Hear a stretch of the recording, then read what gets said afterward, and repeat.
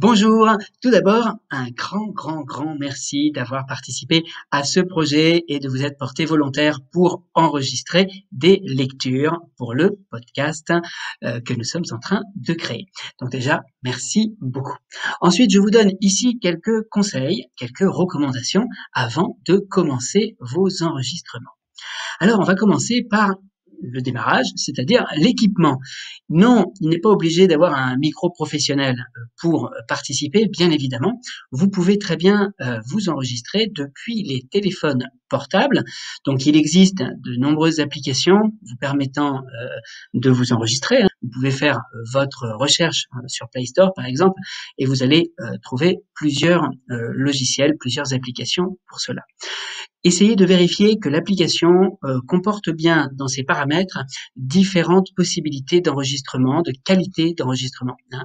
Euh, certains proposent de s'enregistrer en haute définition, moyenne définition ou basse définition. Donc je vous recommande bien sûr de vous enregistrer dans euh, la définition la plus haute possible. Sinon, vous pouvez aussi vous enregistrer euh, sur votre ordinateur à travers, par exemple, le logiciel Audacity, qui est un logiciel gratuit, euh, très très simple d'utilisation. Hein. Pour s'enregistrer, il faut juste appuyer sur le bouton rouge et ça vient tout seul. Voilà, vous pouvez euh, également vous enregistrer en ligne via des sites internet comme par exemple Online Voice Recorder, pardon, pour mon accent, euh, ici vous avez euh, cette possibilité de vous enregistrer directement en ligne. C'est quand même la dernière euh, recommandation puisque parfois il y a une petite accélération de votre voix sur ces sites d'enregistrement. Voilà donc trois options, le téléphone portable, Audacity ou Online Voice Recorder euh, qui vous permettent à chaque fois de vous enregistrer, soit avec euh, le micro de votre téléphone ou le micro intégré de votre ordinateur. Si bien sûr vous avez un micro que vous pouvez brancher, eh bien c'est encore mieux. Parlons ensuite de l'environnement dans lequel vous allez vous enregistrer. Très important, le choix du lieu. Choisissez évidemment un lieu calme avec euh, peu euh, de, bruit, de mouvement autour. Hein, euh, donc vous fermez bien les fenêtres, évidemment. Et puis essayez de choisir une salle pas trop grande et surtout pas vide pour éviter les problèmes de réverbération, d'écho, lors de l'enregistrement. Voilà, si possible, vous choisissez également une heure euh, euh, la, plus calme possible, hein, pour euh, où il y a le moins de bruit autour de vous. Moi, j'aime bien enregistrer le soir assez tard, mais ça peut être le matin, à un moment donné où vous êtes seul chez vous. En tout cas, essayez de bien choisir le lieu et le moment, encore une fois, pour une qualité optimale. Quelques conseils avant de vous enregistrer. Bougez un petit peu, ça va vous faire du bien, ça va éviter de se crisper, hein, là comme ça, devant le texte.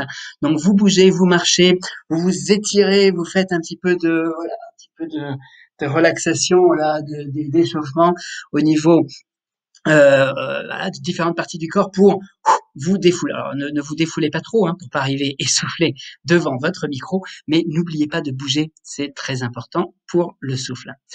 Euh, respirez, bien sûr, respirez profondément. Vous pouvez faire une respiration abdominale, hein, donc ça fait une grande inspiration, vous gonflez le ventre comme un ballon, vous bloquez l'air et vous expirez.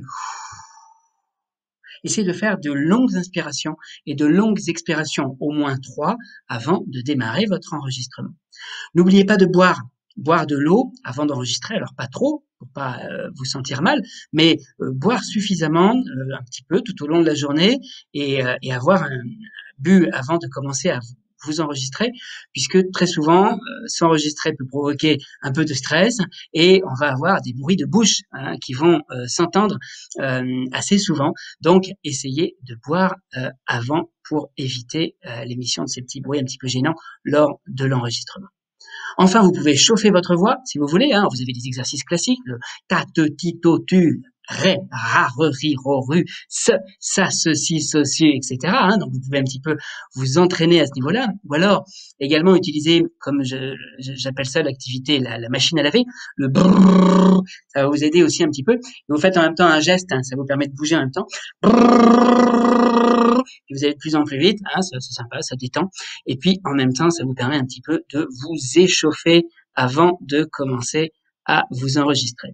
Autre technique qui marche très bien et que finalement tous les locuteurs professionnels utilisent à la radio, mais aussi au théâtre, eh bien, c'est le stylo magique. N'importe quel stylo peut devenir magique.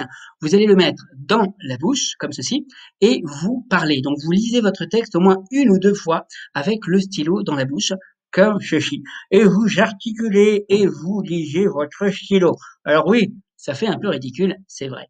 Mais ce qui est très intéressant, c'est que tous les petits muscles de la bouche qui vont être contraints pendant euh, cette séance de stylo magique, quand vous enlevez votre stylo, vous allez voir, vous allez avoir une articulation optimale puisque euh, eh bien tout d'un coup tous ces petits muscles sont libérés et vous avez la très belle euh, articulation.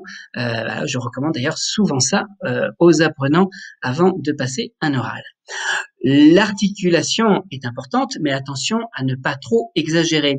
Hein. Essayez bien sûr d'éviter l'exagération d'une articulation beaucoup trop, euh, voilà, trop d'emphase ou trop euh, d'exagération dans, dans votre articulation. Hein, évidemment, soyez naturel dans votre interprétation et évitez, s'il vous plaît, le ton de lecture classique, ce que j'appelle la lecture classique en classe, hein, que l'on classique en classe, que l'on retrouve assez souvent euh, dans les enregistrements, hein, vraiment d'un ton. Euh, euh, il était une fois un roi et sa princesse qui alors, éviter ce côté de vouloir parler comme ça à un large public euh, d'une manière trop exagérée ou trop articulée. Hein. Essayez pour éviter cela, pour éviter ce ton de lecture là, de visualiser, de vous mettre des images dans la tête, ou alors au moins des émotions. Qu'est-ce que ça vous provoque ce texte quand vous le lisez? Essayez de le lire plusieurs fois, bien sûr, avant de vous enregistrer, et de vous concentrer sur des images. Qu'est-ce que vous voyez? J'avais suivi un stage d'un euh, du, Congo-Brazzaville qui me disait si tu ne vois rien, ne dis rien. Il faut voir pour transmettre. Hein. Donc, essayez de ressentir ou de voir quelque chose pour pouvoir le transmettre euh, plus facilement. Hein. Mettez le ton, bien sûr. Hein. Amusez-vous, faites-vous plaisir, sans tomber dans la caricature toujours, mais essayez de le faire d'une manière vivante. Il n'y a pas qu'une seule manière de lire un texte. Hein. Euh, vous allez avoir votre euh, manière. Donc, réalisez aussi, faites parfois des, silences de temps en temps euh, pour justement faire venir cette image à vous et au lecteur. Pas trop euh, abuser des silences, mais de temps en temps, faites une pause et puis rebondissez, créez du rythme dans euh, votre lecture. Voilà. Après l'enregistrement, eh bien, écoutez-vous sans jugement. Hein, c'est vrai que c'est pas toujours facile d'entendre sa voix, mais euh, décontractez-vous par rapport à ça. Vérifiez toutefois la qualité euh, du son. vérifiez, voilà, si vous entendez un bus qui passe ou qu'il y a des, petits problèmes dans, dans, dans l'enregistrement, eh bien, s'il vous plaît, réenregistrez-vous une deuxième fois. Essayez toujours de euh, de garder euh, quelques secondes hein, avant de commencer à enregistrer. Hein, ça va m'aider moi ensuite au montage. Évidemment, je ne vous demande pas de faire un montage en entier. Hein, je, je, le ferai moi. Si vous avez un problème au milieu de la lecture, c'est pas très grave.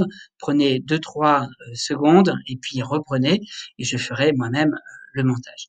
Évidemment, si vous pouvez euh, fournir un texte du début à la fin euh, d'une traite, eh bien c'est encore mieux. Vous envoyez le, le, fichier pardon au format MP3.